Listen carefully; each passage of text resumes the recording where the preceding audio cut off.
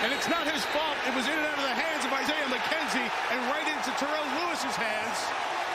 And the turnover is the only thing that stops Allen.